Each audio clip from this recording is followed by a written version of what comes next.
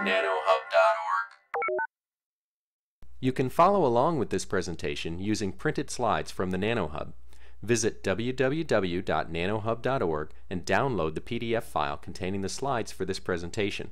Print them out and turn each page when you hear the following sound. Enjoy the show. So let's get started. Uh, today we'll be talking about bipolar junction transistor and how it is designed. This is lecture 2 on that topic. And in the first lecture regarding uh, bipolar junction transistor and how it is designed, uh, we talked about the problems of classical transistor.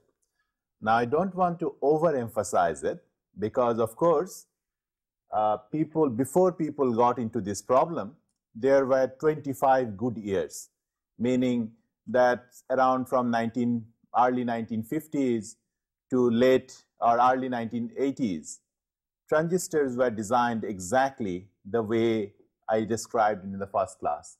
Essentially all silicon transistors and three regions emitter, base and collector, essentially all silicon. Early days there were a few germanium transistors, but subsequently silicon was more robust and more easily processed. So that took over. So this had a good run. This classical transistor had a good run, but starting from early 1980s, this classical transistor ran out of steam and subsequently many new innovations, a series of innovations uh, came along. One had to do with polysilicon emitter, replacing the emitter instead of having a silicon, which is single crystalline, having multiple crystals of polysilicon and uh, polycrystals of silicon. And this was an accidental discovery.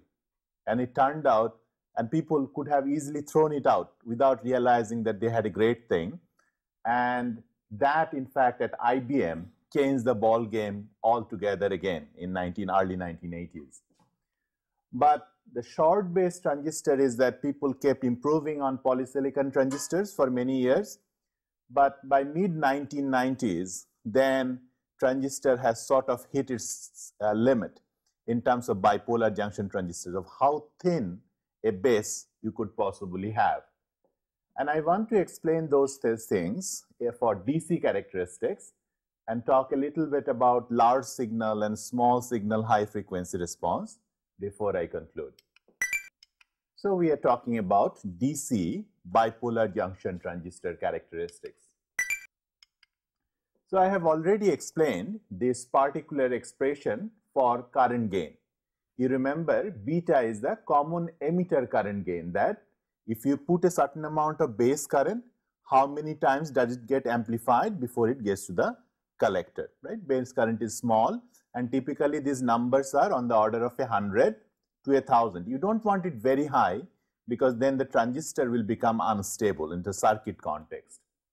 And we saw that this gain is related to some intrinsic transistor parameters like the doping of the emitter and the base, the width of the base and the emitter regions, and of course the diffusion coefficient means how fast the electrons go. You see that's on the numerator D sub n. So if the electron goes fast, that means I have a lot of collector current. And if the somehow the holes which are back emitted base current, if it that goes slow, then that's a good thing for me. And overall, I will have a great beta DC based on these parameters. Now, I have explained the trade-offs in last class and I hope you remember. The trade-offs are, are such that first, if you assume that if you have a given emitter doping, start there, then, so that you want to increase as high as possible without band gap narrowing. What is band gap narrowing? That if you dope it very high, then the band gap that you originally had, that begins to narrow because the dopant state itself then can carry current by, so the electrons can hop from one dopant to the next and instead of really, taking the highway, it can essentially tunnel through the uh, one state to the next one. And so therefore, the effective gap you have is little less. And you can see the gap enters this picture through Ni squared because that has the gap in the exponent. As a result, small changes in the gap, even 0.1 eV, can have dramatic effect on gain because of the band gap narrowing. That is something you do not want to have. The second is that once you have decided on a emitter doping, then you make the base doping as low as possible. But you shouldn't do it too low. The reason is then there will be current crowding. It will be very resistive and therefore currents will only go through the corners of the emitter and it will not flow uniformly. Do you remember?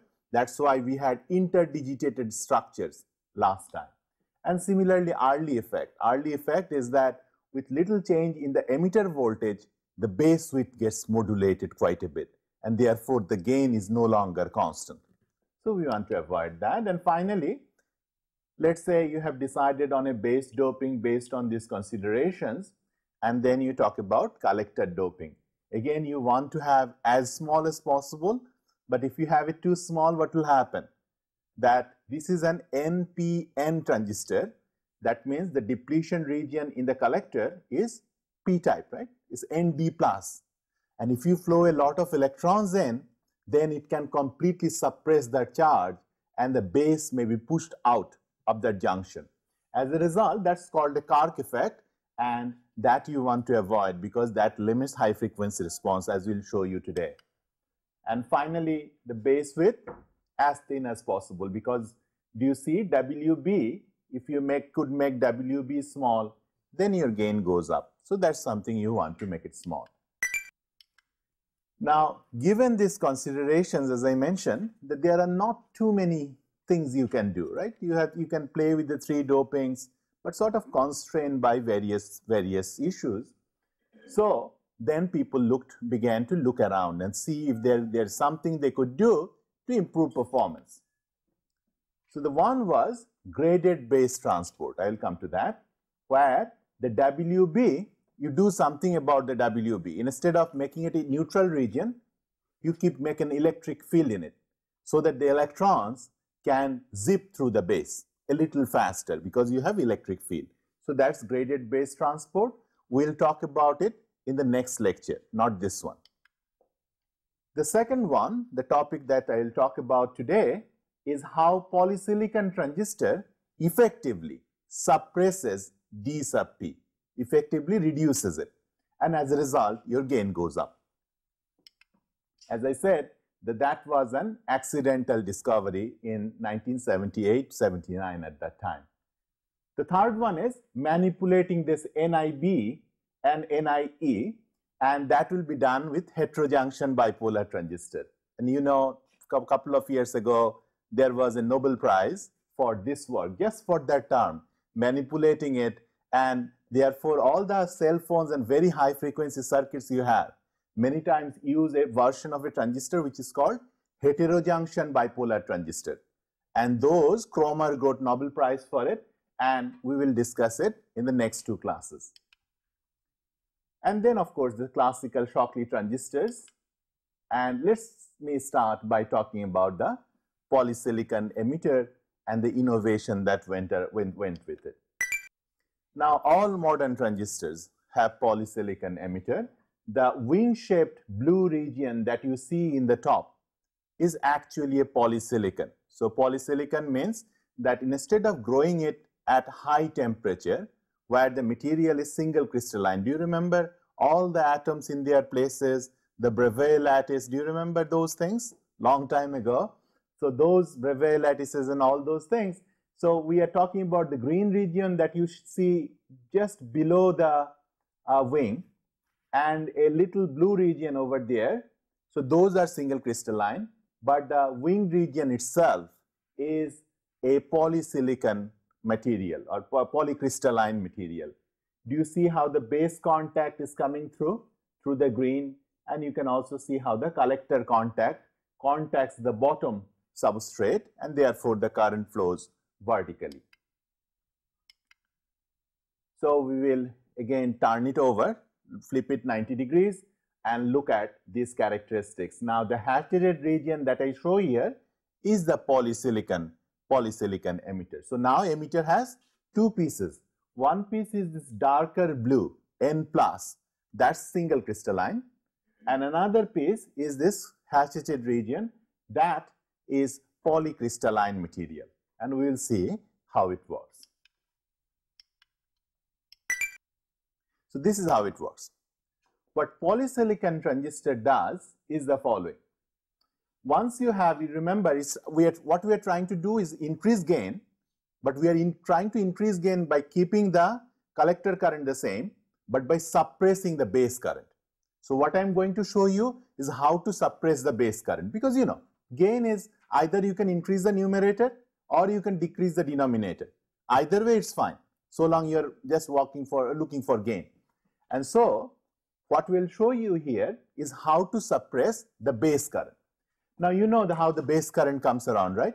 So you have holes coming in from the base contact which is shown here in the middle in the P region, green P region and okay. So once uh, there is an animation which will come a little bit later I assume. Uh, before I get there, so the, elect the holes will go from the P to N plus region and flow out through the emitter contact. Now, when it does so, if I look at the hole profile, then I see at one end I have P1. This is the exponentially increasing part because the barrier has been reduced. But the really interesting issue is, you see, the P2 is not zero. If I had a metal contact, then I know that the P2, which is the other end, the concentration should have been zero. What polysilicon does is that it limits the velocity at which electrons can go. So it's like a surface recombination velocity and it is not infinite, unlike metal. As a result, this because it has finite Vs, the P sub 2, which is on the other end at the polysilicon junction, is not zero. So in that case, you can immediately see the current will be little lower, right? Because the slope of this P1 minus P2 for a given width that has actually been actually smaller and as a result I will have less current. That's the physics. There's nothing more to it. I will do a few lines of algebra but that's the physics that I have been able to reduce the slope. So first of all, if you have polysilicon emitter, I have I sub P because I'm talking about holes. I have a E in the subscript because I'm talking about holes going into the emitter and poly because I am in the presence of poly. So that's that's uh, th those three things are. Do you see minus q d, d sub p p1 minus p2 w, divided by we? What is that? p1 minus p2 divided by we? That is dp dx, right? Do you remember minus q dp dp dx? So p1 minus p2 divided by w. That's my current. Now that current must be equal to whatever rate at which polysilicon take, can take it out. And polysilicon takes it out as minus q v sub s, which is the surface recombination velocity. Here, it's not really recombining at the surface. It is very different from the previous case that we saw, so right? Surface Shockley-Read-Hall, do you remember in that case we had a surface recombination velocity? It is not that, it just limits the velocity at which electrons can escape to the polysilicon multiplied by P2 because that's the concentration I have. Can I solve for P2 now? I think I can. That's the ratio, P2 divided by P1 and that's uh, related to the diffusion coefficient and the surface recombination velocity. Do you agree with this statement? Does it look right? Do you see? If the surface recombination velocity was very large, like metal, then in that expression, Vs should have been infinity, right? Let's say relatively speaking. If that's the case, what would have been the value for P2? That would have been 0. Do you see that? And that would have been 0. That says that indeed, if it's a metal, then the P2 must be 0. Okay. Now, we can now easily calculate because I have P2, I can put it in that expression minus Q V sub S multiplied by P2, can put it in and can calculate the current. Do I know P1 by the way? What is P1? This is Ni squared divided by Ne exponential of that voltage minus 1, right? That's the P1, the junction. So I already know P1, V sub S is a material property. and the diffusion coefficient and the emitter width, these are all, all I know. So therefore, I could easily calculate this current. Now, if I did not have polysilicon, then if you go back, what you what would have done is P1 minus 0. Instead of P1 minus P2, I would have P1 minus 0 divided by WE. Again, the same thing. So, the difference between when you have poly and when you have just pure silicon is that this in, in, instead of having just the diffusion coefficient divided by WE, that velocity, I have a more complicated combination over here. Now, if I take a ratio of these two currents, that if I have polysilicon emitter versus if I don't, in that case, what would be the ratio? I simply take that divide this one from the top to the one in the middle and I get this ratio. Now, first of all, does it make sense? Assume first Vs is infinity. That is, I am really, my poly is so good that it's taking all the electrons out. If Vs is infinity, what is this expression? This expression is 1. So, therefore, you haven't improved anything. On the other hand, assume that Vs is very small. If Vs is very small, that is poly is blocking the, all the current, in that case, the second term on the numerator or denominator would be 0 compared to the first one. And you can see if Vs is very small, then the poly current, the base current, will be minuscule. So in that process, I have suppressed the base current. That's what uh, we are trying to do. Now, for as far as electron current is concerned, going over from the emitter to the base to the collector, well, no problem because I haven't really changed anything. There's no poly over there in the junction. And so in that case, I will simply do write the same expression n1 minus 0 divided by WB that is dn dx and then q multiplied by dn. So therefore, I will have that current and correspondingly the n1 value. You already know that n1 value. So therefore, I am ready to compute the gain in the presence of polysilicon transistor. Now, one thing I will ask you to think about is that why is, does the poly only suppress the hole current, which is going in that direction, but not, doesn't do anything to the electron current? Because electron current is also coming through the poly, and why it didn't do anything, that's something you should think about. So that was the supposed to be the animation that which is supposed to say that the electron actually flows from the base side to the emitter side through that contact and that's the expression uh, we try to derive. Okay, now let's calculate the gain. So the hole current is essentially all that is there is to it to the base current. Why is that? Because the amount of base current flowing to the collector is minuscule. Do you agree? Because base is collector is actually reverse bias. So it has a huge barrier on the collector side, but a very little barrier to the, to the emitter side.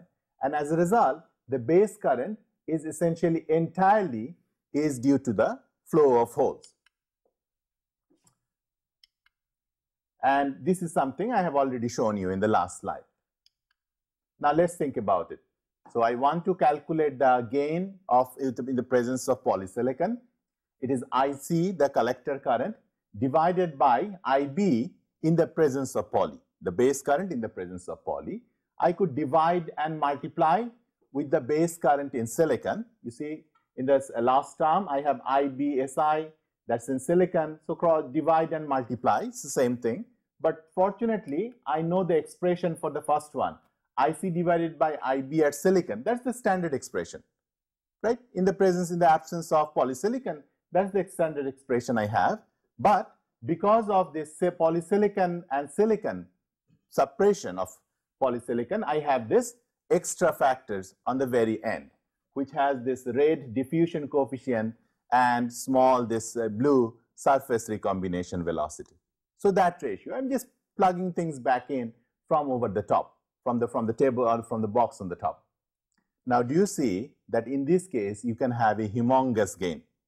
Because if Vs is small, then let's say it's close to 0, then on the term on the right, the numerator, the blue on the numerator will go to 0. But look at the denominator. There is a V sub s is sitting there and therefore this could actually be significant. It could be a huge gain in this particular respect. And physically that makes sense. If your Vs is small, that means there is no hole current flowing to the base. So by even a tiny amount of base current, you can have a huge amount of collector current. And that's why this uh, amplification is so large. And that's the point I wanted to make. Now again, just to tell you a quick story that this came about accidentally because the person who was supposed to grow this uh, crystal, I mean this is a sort of a story, it's a rumor story but presumably it's true. The person, the technician who was supposed to grow the polysilicon or the silicon for the emitter, accidentally that reactor malfunctioned. So the temperature was not as high as it was supposed to be. The temperature was little lower. And therefore, instead of having the crystal, silicon crystal grown in the emitter, they accidentally had polysilicon grown.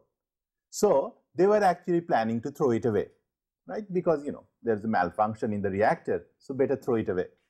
But it turned out they just tested it. And amazingly, it turned out that that has again, the one that sort of malfunctioned with the malfunction reactor, had a gain which was significantly better than anything they were making. As a result, this polysilicon transistor essentially subsequently become the standard in the industry. I have posted a paper on the website about the history and you can take a look. And this is a very nice story about, about this whole thing. Okay, so do you understand physically? Forget about the math. Yeah, this is high school algebra. But the, the polysilicon, how it suppresses the base current with by slowing down the holes and as a result increases the gain. And subsequently after 1980s, this is this became the standard in the industry. But of course, like all good things, it comes to an end. And it came to an end sort of, I would say, in mid 90s or early 2000 when, so they, this game went on for a while. So they got a lot of gain and then gradually they started shrinking the base over a period of time to get more and more gain. But at some point, you cannot play that game anymore for this reason. For the same reason, in fact, the flip side of the same reason. So this is the gain I have for the polysilicon. Do you, do you see in the end I have 1 over V sub s? That's the, that gives me the huge gain in for, for the polysilicon transistor. Now, let's, let me tell you about the, the base transport and how, in fact, that term over time got poorer, not better, but poorer, and that limits the gain in the following way. You see, if you make the base very small, so it started with, let's say, several hundreds of microns in the beginning, gradually you're making the base smaller and smaller. Why do you make it smaller? Because remember, the base width is in the denominator. Because shorter the base width, more the gradient, faster is the current, and therefore more gain. Now, if you keep making it smaller and smaller and smaller, the diffusion velocity, which is d over wb, will keep increasing, right? Because the gradient is more, it will go away faster. But there is a point beyond which electrons cannot go any faster. Even if it doesn't have any scattering, there is a maximum velocity electron can go and that's called the saturation velocity. You cannot, electrons even if it didn't scatter, ballistically went from one side to the other, it will not go any faster. As a result, when you make the base very, very, very small, in that case, the maximum velocity it can get out of the base is this V thermal, thermal velocity. Now, I'll explain in a second why I didn't talk about it before, but let me first get you an expression for it. So now, instead of the current being simply N1 divided by WB and the other side being equal to 0, because I have finite velocity on the, on the collector side, I will have this V thermal multiplied by N2 because that is the velocity at which electrons can escape and it cannot go any faster. Again, I will do the same, same game, you see, N2 over N1, I have the same ratio just like before, 5 minutes before. And correspondingly, I will have this, if it is ballistic, if the transport is ballistic, then I will have the same ratio, just like in the polysilicon I had it. I had a finite velocity in the polysilicon, I have a finite velocity in the ballistic transport case. So, I have the same ratio, exactly the same thing. But this time it is bad, I will explain. First of all, you see, okay, so let me get to the next slide. So, I will play the, play the same ratio, I am just copying it from the previous slide, but let me write this out and see whether you agree. So, let us go slow. So, first is that if I have both polysilicon and the base is so short that electrons are zipping through it ballistically, no scattering, no diffusion coefficient, right? Diffusion coefficient requires scattering. No diffusion, no scattering, no diffusion coefficient, electrons zipping through, then do you agree that I could split it up into three pieces? So I could compare how the ballistic collector current compares IC ballistic divided by IC silicon when it's not ballistic. So I can think about that.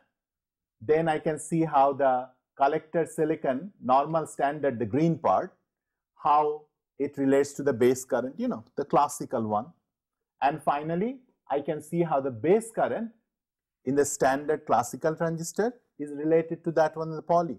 You see, if you cross multiply, you will see that exactly what I have written, IC comma ballistic and IB poly is exactly the same thing. I just expanded it out. No rocket science here. So I will just copy those expressions. Now, if I copy this expression, do you, do you see the symmetry in the third term and in the first term, right? Look, in one case I have V sub S in the denominator, in another case I have V thermal on the numerator, right? Because it's the same finite velocity and the corresponding diffusion coefficient come into play. Now what will happen? Let's see what will happen. So let's say my V sub S is very small. Okay, so if the, my V sub s is very small, then in the third term on the right, uh, uh in, in the, uh, the equation, preceding equation, V sub S, the blue one, is negligible compared to the red one. So I will drop that term and correspondingly bring it in. But look at the first term. If my V thermal is much smaller, much smaller than the diffusion one, this is in the black, the first term, in that case, what will happen? Correspondingly, exactly the same way, I have to drop V thermal and the magenta V thermal on the numerator, that is the only one that's going to survive. As a result, you can see now the gain is, gives, is given by the ratio of the thermal velocity divided by the surface recombination velocity. Now, thermal velocity is a material constant. If it is silicon, you have a thermal velocity. Therefore, you can see there's no more place to go. If you decrease your base anymore, you see, you cannot get any more gain. Now, does this sort of uh, does it go with what I had been saying before? Before what happened that the diffusion coefficient for the electron, d over WB, when WB was large, in that case, that was a small quantity compared to V thermal in the first term, in the magenta one. And so generally in the long channel, long base transistors, D over WB, you drop that. If you drop that one, then V thermal on the numerator, V thermal on the denominator, so that will give you 1. And that is the standard transistor. However, in this case, as you make the base width smaller and smaller and smaller, at some point, you get no benefit but making it any smaller or any thinner. And that is what happened in mid 90s. In fact, and that is the point beyond which they have not scaled the base width anymore, about 100 to 200 angstrom in the highest performance transistors today. Now, I will go through the frequency response. These are all about DC characteristics, but simply because you have a very significant gain of a transistor does not mean that you have a great transistor, and that is what I want to explain in the next few slides. So, this will be a small signal. Now, this will require some following through. So, please pay attention and then we will see whether you can understand it. You may have to go back home and read it one more time. So, what I want to know is actually, I have a great DC gain that it amplifies the DC current well, but do I have a great AC gain? That is, if I have a small signal uh, coming from a radio station, what is the highest frequency that I can amplify? If you try to do that, what you will see that when your frequency is low, that's the rate curve, and you know, x-axis is f, y-axis is log of gain. When the frequency is low, the DC one, well, that's great. You have a lot of gain. So it could be 100 or 1000. But as you try to amplify more and more higher and higher signal, then what's going to happen? That then at some point the gain is going to drop like drop like a stone towards the end because it's a log plot say and even for one order of change in the frequency there may be a factor of 10 decrease in the gain so you started with 100 now if your frequency gain is always all of a sudden 10 and very very soon 1 then you have don't have a transistor anymore you cannot catch the corresponding radio signal or signal you're trying to catch, let's say wireless signal and amplify it anymore. So let's say what is the cell phone signals these days, do you know? This is about 2.4 gigahertz, right? So 2.4 gigahertz or so, that's the cell phone transmission band. So you you have to design a transistor, let's say, which at least amplifies comfortably up to that frequency. So your f sub beta up the point up to which things are flat must be 2.4 in this case. If it are for some other application, then it may be lower or higher. So the question is, what determines f sub beta or what determines f sub t when the gain becomes 1? That's what I want to know. And the thing I'm going to derive in next 20 minutes is this complicated looking expression that it depends on many things. You see on the left hand side, I have 1 over ft so I want to calculate ft. So I have 1 over ft. And you see on the right hand side, I have a bunch of things. I have the base width. So I want to make this thing as small as possible. Then 1 over ft will be large. Right? Or sorry, ft will be large. And so if I make wb small, then that enhances my frequency performance. There are a bunch of capacitances. Do you see that there are these are all junction capacitances? Those are also very important on the second hand side, on the right hand side. Do you see IC somewhere? Second term on the denominator. If I could have a lot of IC, if I can forward bias it with a very high IC, then the second term will gradually drop out. And as a result, the whole sum will become smaller. And as a result, I will have a larger FT, right? So for larger FT, I should have as high a current as possible, as low a capacitance as possible as thin a base as possible, right? So these are the things I want. Now, how does this expression come about? So let's see how it comes about. Now, if you did your homework, and or at least the one that I suggested in the class, then you might have remember might remember that if you take the the Ebers-Moll model, which I drew it in the common eh, base configuration, and convert it to a common emitter configuration. Do you remember few class down? Then you should have this particular circuit where you had two diodes, one going from the base to the collector, collector is on the other side, and another the C pi and C mu are essentially the capacitances, various capac junction capacitances. So this is something you should have had. If you don't know how to do this, perhaps you will go back and look at that one uh, one more time. But for the time being, assume that this is what it is. Let's proceed with this one. Now, this is a DC equivalent circuit or DC or this is a generic equivalent circuit. I'm only interested in small signal equivalent circuit. So therefore, I can simplify this significantly more in the following way. First of all, I drop that diode. Why do we do that? because of course it is a reverse bias, reverse bias junction, tiny amount of current is flowing, right? Base to collector, isn't it reverse bias? Tiny amount of current is flowing, that diode isn't important, I drop it.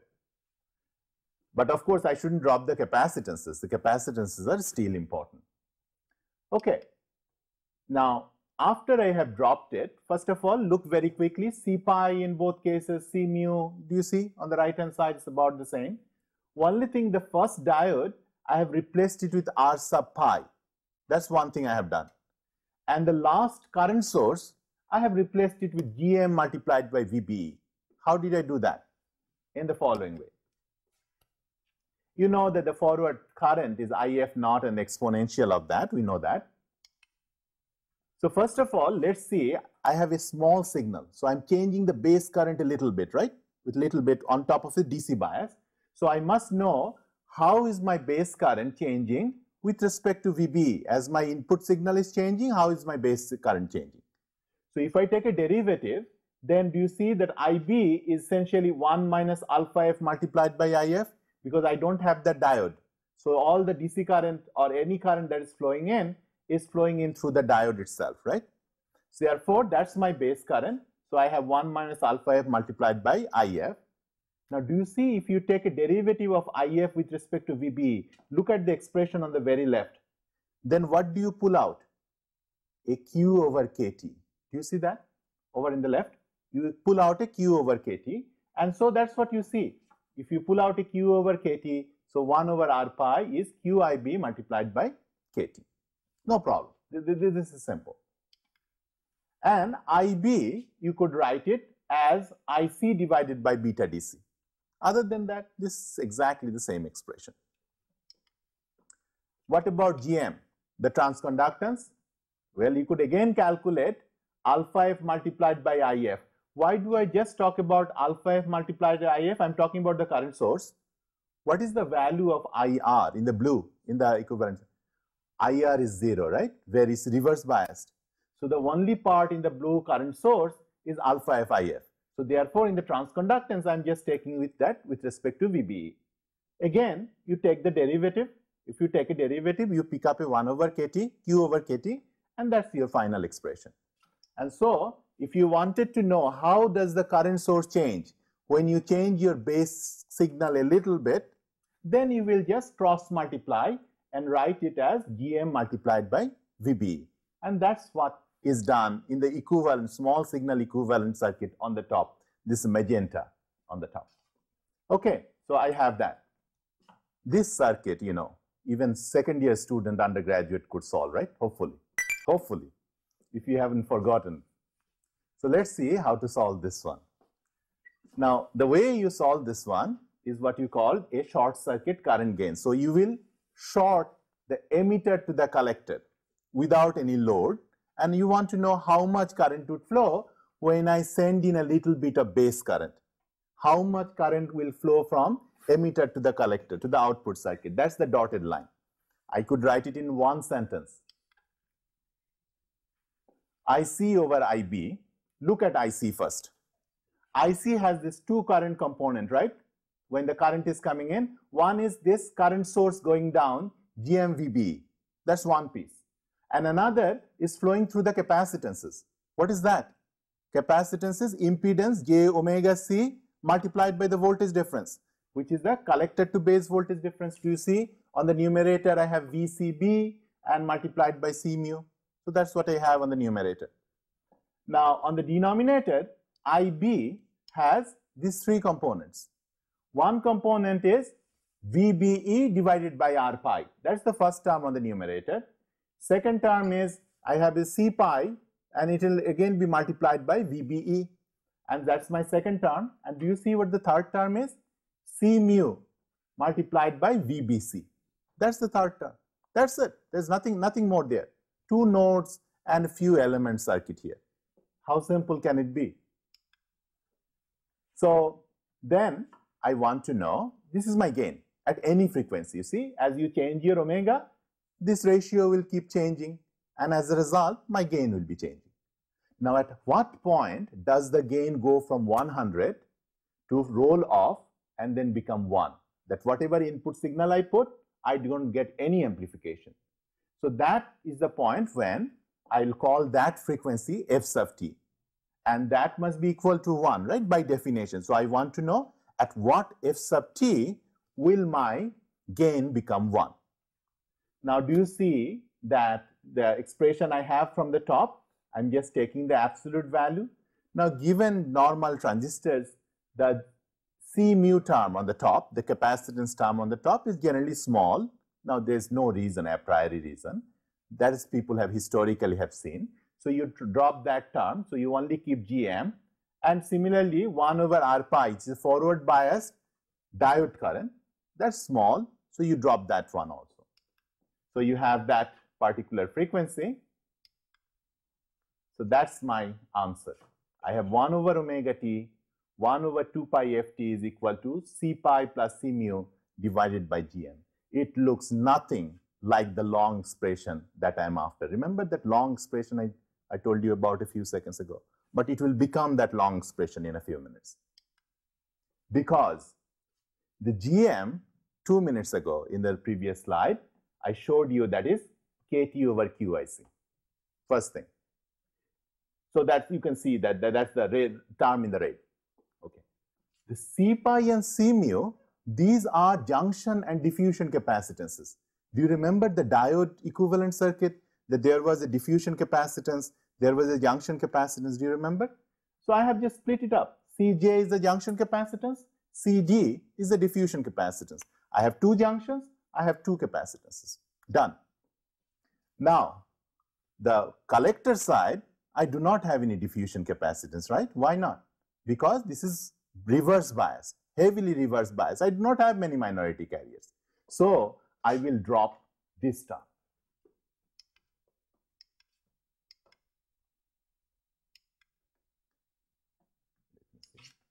So, I will drop that term. I'm sorry, I should have dropped the other term, this term, not, not this one. And correspondingly, so you have that first term, that is already in the final expression, I have that. So, I will just leave it alone. This one somehow will become W squared divided by 2D and other things. So, I will see how that becomes. But before I do that, let me convince you that the capacitance divided by the current that has can be written as the QB divided by IC. Do you agree with this statement? Because you can see that QIC divided by KT, couldn't I write it as DIC over DVB? Remember that is how I pulled out Q over KT a few seconds ago.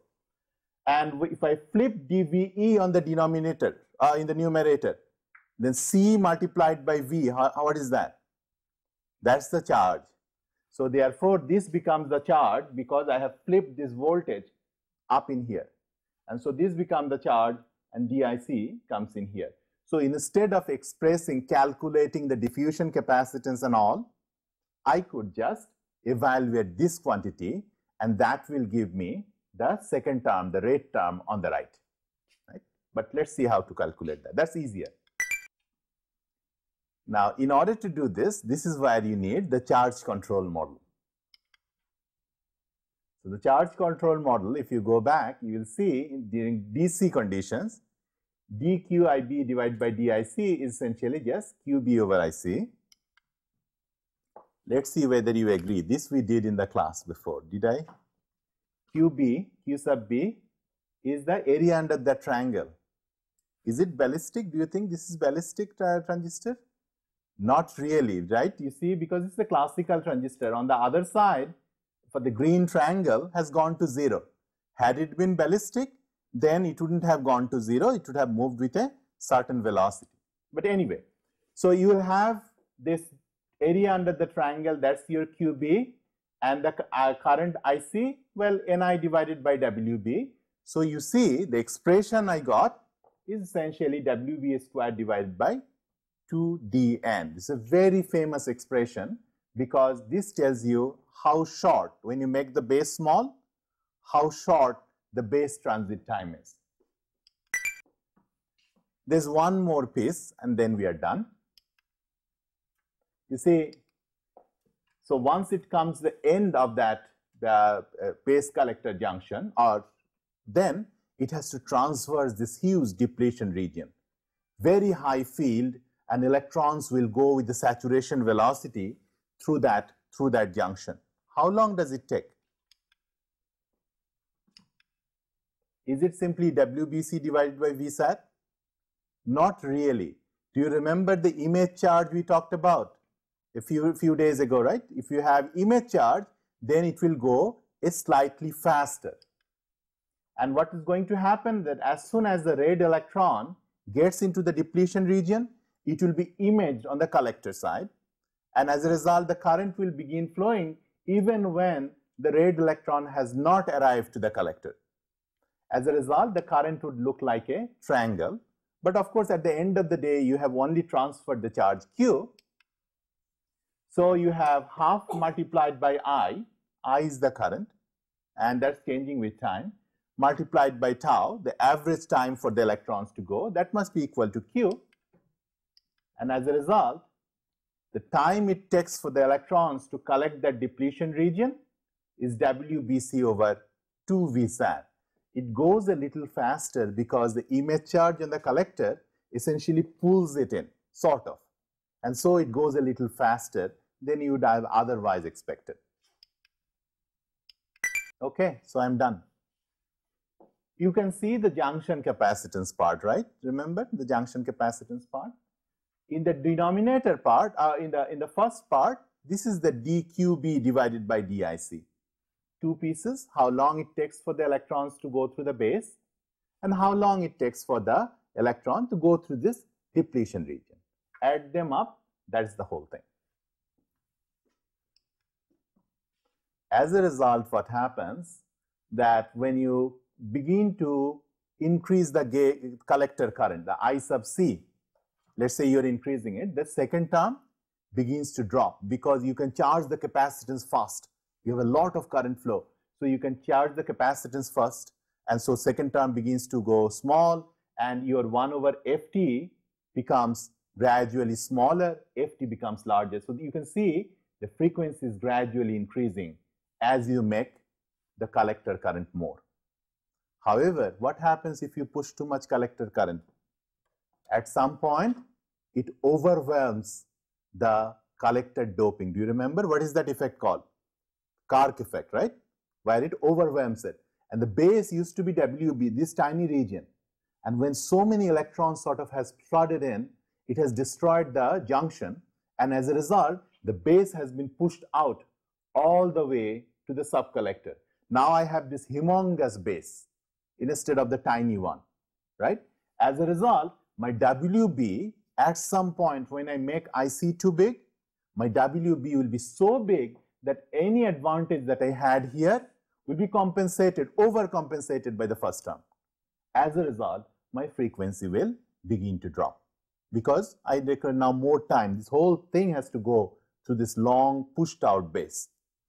This is exactly what happened in mid 60s and Kirk, people used to make this transistor, measured them in their lab and all well they will see a turnover. Nobody understood it. The best mind at that time, you know, all this big industrial lab. They had Sony, they had IBM, they had TI. Scientists are looking all over that what could it be that I cannot push my frequency anymore? And Kirk explained that effect. And that's why the effect is named after him. He explained it because he was the first one to suggest that how excessive collector current can overwhelm WB. And as a result, it will roll over. So it's called I sub k, that's the Kirk current. So in general, uh, I told you about all those things. Tau sub b is W square divided by 2D and the collector transit time is WBC divided by 2 VSAT, that's fine.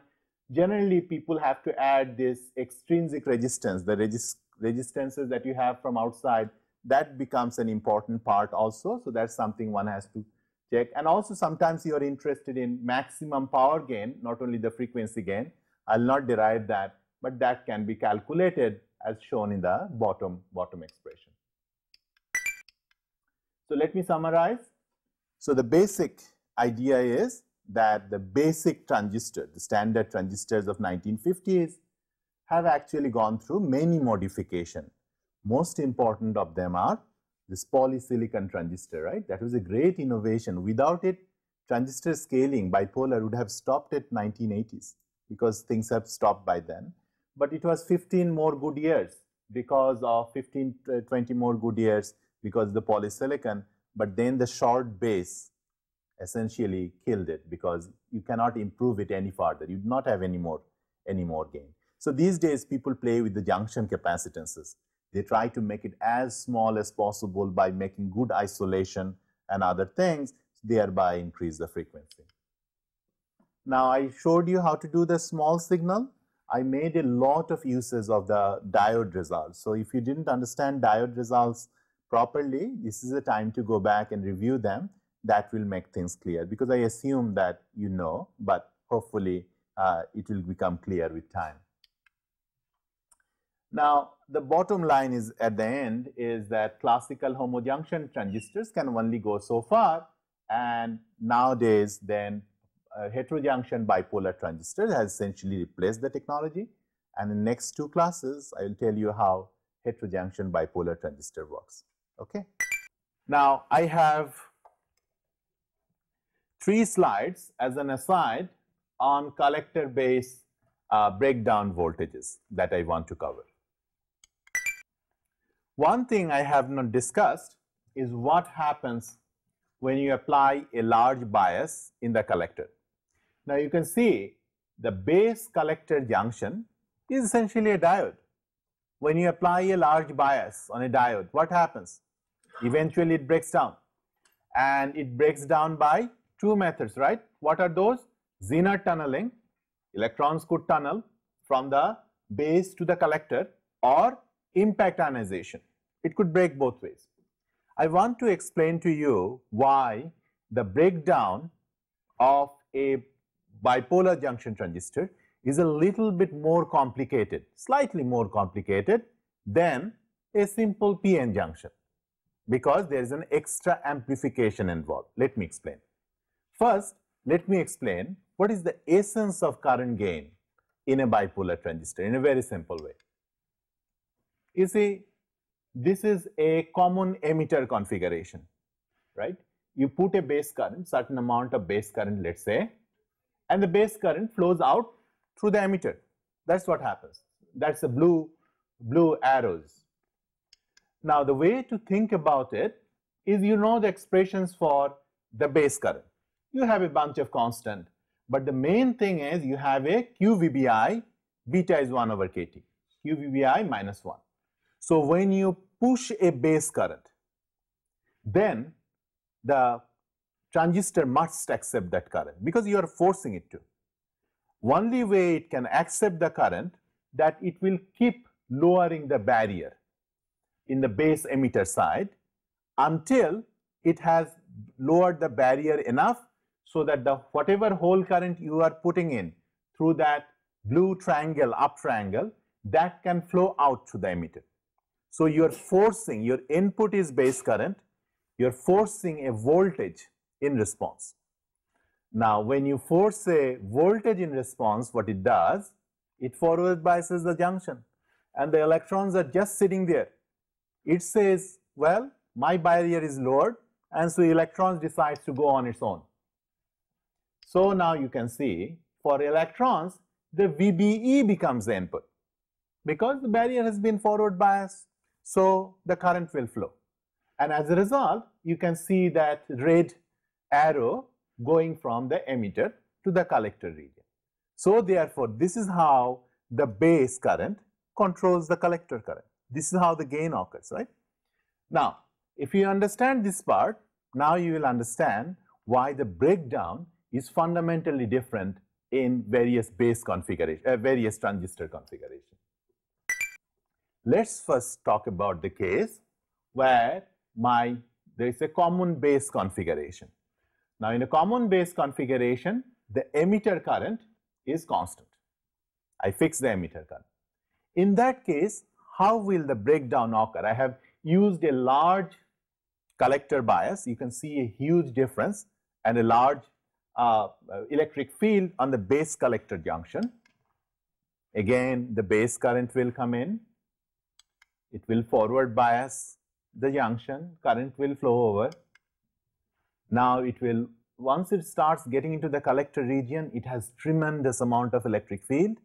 As a result, there will be impact ionization, right? There'll be how much uh, energy do you need? Approximately 3 halves the band gap. You cannot have just the band gap, a little bit more.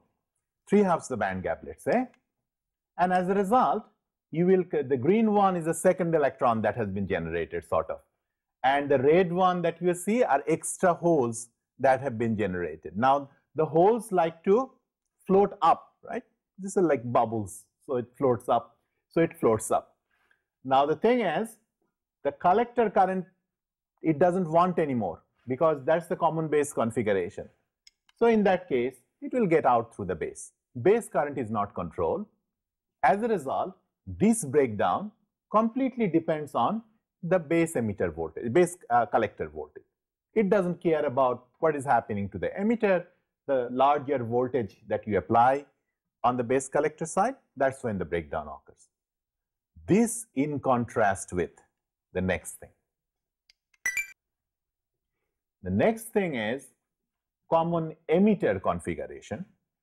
In common emitter configuration, the figure on the right shows the IV characteristics.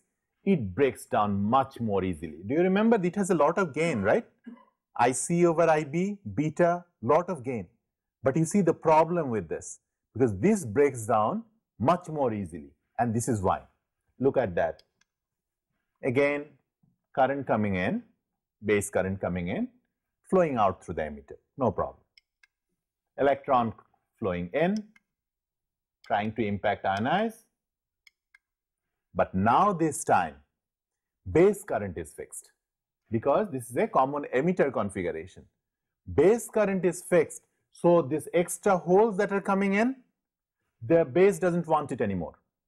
Base has already decided how many current, how much current it can have. As a result, it cannot have that. As a result, the base, this extra excess current that has been generated now must get out through the emitter. Now, the more emitter current it has to push, what will happen to VBE? Now, the VBE must be larger or that the barrier must be reduced so that it can accept that current, right? As soon as it reduces the barrier, what will happen that correspondingly it will forward bias the junction, more electrons will flood in and more electrons flooding in means more impact ionization very soon because of the presence of that first barrier, first uh, PN diode. The breakdown will occur very quickly. And you can see on the right hand side that how much faster. It's not a it's almost begin to break down at a very low voltage. Even by the 20 volts gradually currents are increasing quite a bit. So this is a very important distinction between a just a single diode versus a bipolar transistor and that is something that you should remember okay and this is the basic point about breakdown voltage. That's it. Thanks.